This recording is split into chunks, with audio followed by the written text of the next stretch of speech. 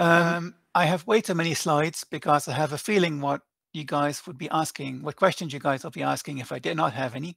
So I'll try to zoom through the slides and leave some time for uh, discussion. Um, one thing we have noticed in our fleet is that we spend way too much CPU time on things like madvise don't need and madvise free. And the CPU time is not in the madvise code itself, but it's in the TLB flushes. In the calling thread, about half of the CPU time is spent just flushing the TLB and waiting for other CPUs to flush their TLBs. And once you add in the amount of time the other CPUs spend flushing their TLBs, almost all the time spent in madvise don't need or madvise free is just spent doing TLB flushes. And this is on systems with a modest number of CPUs. New systems have more CPUs and we expect things to just get worse over time. But we can draw inspiration from RCU in how to how we could solve this problem. RCU deals with overhead by first making data inaccessible. And then once all the users of the data have gone away over time, freeing the data becomes super cheap. And I think we could do a same thing, a similar thing for madvise don't need. Um, I've been talking with the jemalloc people for a while about what the user space API could look like. And it can be very simple, where user space indicates with madvise lazy free, lazy free here's a range of memory um, that the kernel can free whenever it wants to. And it can call madvise reuse to make a previously madvise free range available for reuse. Um, this basically tells the kernel that it is no longer allowed to throw away any data that's written to that region after madvise reuse uh, has been called. The madvise lazy free code itself will look fairly simple. Um, first, we use the uh, TLB gen number that we use for um, lazy TLB on x86 nowadays. We probably need to make that uh, architecture independent. And inside the, well, remember that this range is getting uh, lazy freed, so we stored it in a tree somewhere. And then we mark all the PTEs in that range as non-present. We could use a swap type like migration, or we could use uh, PT, uh, PTE non, various ways we could do this. And that will keep other CPUs from loading anything in this ad address range into their TLBs. madvise reuse is fairly simple as well. We would simply mark the PTEs as present again and remove the memory range from the tree. And there's no need to do any TLB flushes in madvise reuse either. So when do we need to do flushes? We only need to do the TLB flushes if the memory is being reused for something else. That could either be the virtual memory being reused for something else by the application, or having the physical memory reused for something else. When we free it, and then kernel is free to use it for anything else.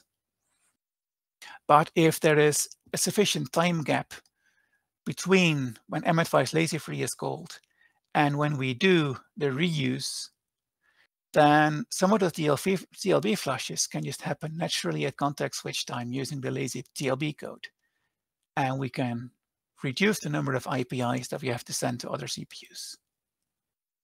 And the context switching code, um, what the lazy TLB code does today, it checks whether the CPU's uh, TLB generation number is smaller than the TLB generation for the MM.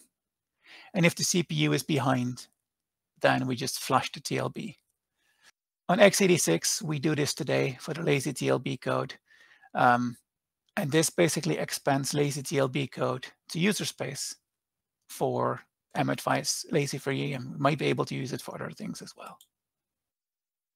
At reclaim time, um, this is where we have to check as well um, who still has the might have the TLB loaded for this page. So if we reclaim time, we, we look at a page, we clear the page table entry, and then we have to iterate over the CPUs that have this uh, MM loaded. It's the MM CPU mask on x86. I don't know what it's called on other architectures. Um, at that point, we need to check if this CPU is still holding an older uh, TLB gen than what is associated with this madvise lazy-free area, we need to send a TLB flush IPI. But if the CPU has already done the TLB flush by itself during a context switch, then we have to do absolutely nothing before we can free the page.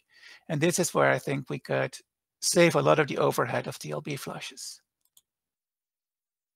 Um, there's some optimizations we can do here. One of the things I have code for right now is keeping a small buffer of flushed address ranges.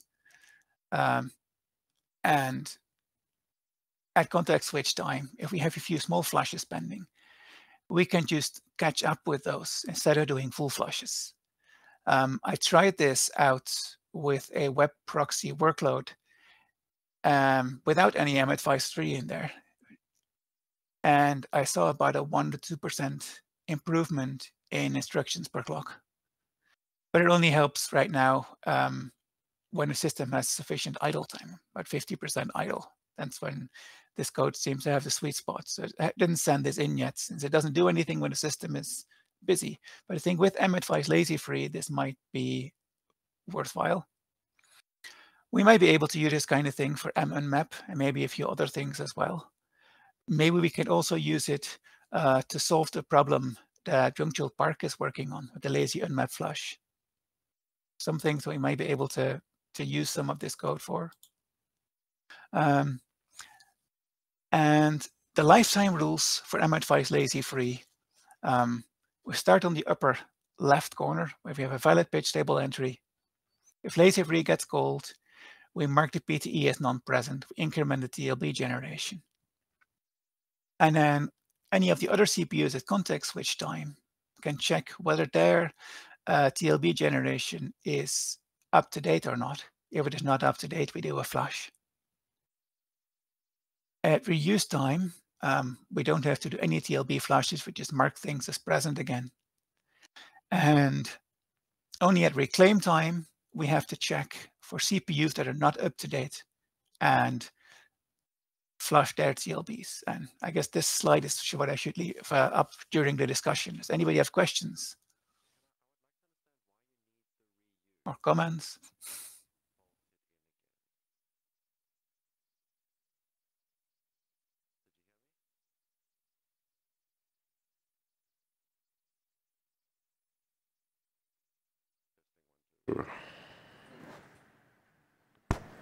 He doesn't like to question.